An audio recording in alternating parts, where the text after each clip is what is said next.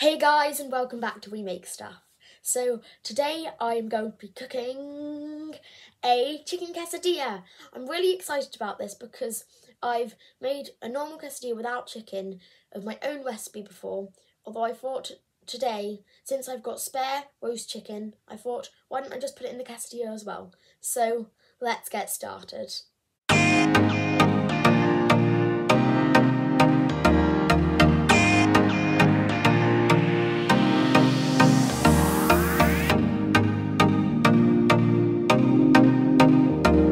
Okay, so what you're going to need for this recipe is you're going to need some salsa that can be bought or homemade, some grated cheese, quite a lot of it, because it makes a good quesadilla if there's loads of cheese.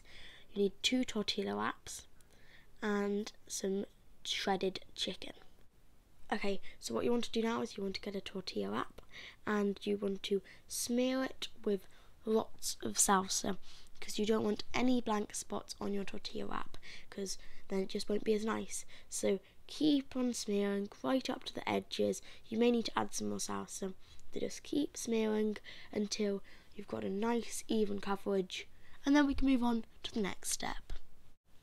Okay, so you need to start by putting some oil in a pan over a medium heat and just start moving that around so that the whole pan is covered in some nice hot oil to get cooking. Once you have covered the whole pan in oil, just turn down the heat of your stove so that when you put on the wrap it doesn't burn.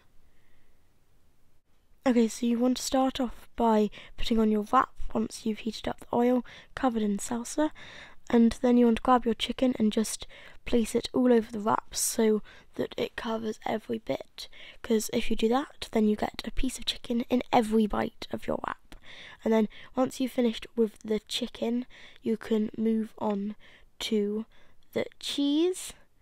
So just get your grated cheddar cheese and just cover the whole thing. This might seem like a lot of cheese although believe me the more cheese the better because it's really nice with lots of cheese.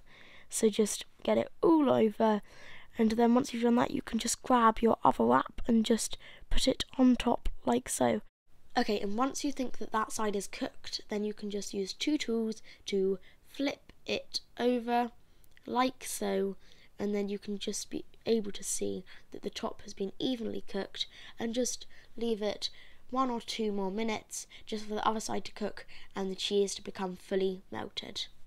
Okay, so once you think that it's ready to come off the heat, just pick it up like you did before, although instead of flipping it, just place it onto a plate and now all we need to do is cut it and enjoy. Okay, so once you've got your quesadilla, then you just want to use a pizza cutter or just a normal knife and just cut it into however many slices you'd like. And there you go. You've now got your quesadilla. And here we have it, our nice chicken quesadilla. I'm really happy with how this turned out. It was delicious and I really do recommend you trying to make this at home. So thanks for watching. Um, I hope you enjoyed watching this video and I'll see you next Sunday. Bye guys, thanks for watching.